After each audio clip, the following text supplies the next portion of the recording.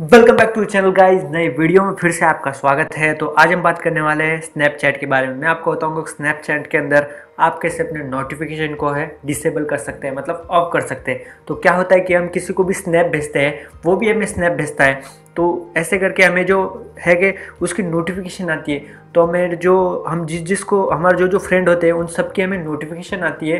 तो हमें बहुत ज़्यादा कभी कभी क्या है कि इरीटेट होता है। तो आपको मैं आज इसी बारे में बताऊँगा कि आपको जो है, वो स्नैपचैट के अंदर नोटिफिकेशन बंद कैसे करना है। तो हम सीधा चलते हैं अपने स्नैपचैट के अंदर। तो आप देख सकते हैं यहाँ पे स्नैपचैट मैं इसे ओपन कर लेता हूँ। उसके बाद में आपको क्या करना है? आपको सबसे पहले आना है आपके अकाउंट के ऊपर। आप देखिए, आप जो ये ट्रिक है, आप अपने एंड्रॉयड और आई मतलब जो है आईफोन के अंदर भी यूज़ कर सकते हैं। तो हम अपने प्रोफ़ाइल के ऊपर चलते हैं सबसे पहले। उसके बाद में आप देखिए, यहाँ पे सेटिंग के ऊपर आपको राइट साइड में सेटिंग दिख रही है ऊपर। आपको यहाँ पे आना है। उसके बाद में आप स्क्रॉल करके नीचे आने के बाद आप देखिए, यहाँ पे नोटिफिकेशंस आपको इसके ऊपर आना है।